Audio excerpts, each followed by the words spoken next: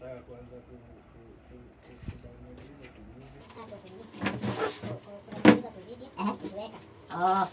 Sasa hiyo editing, unaona mpaka zingine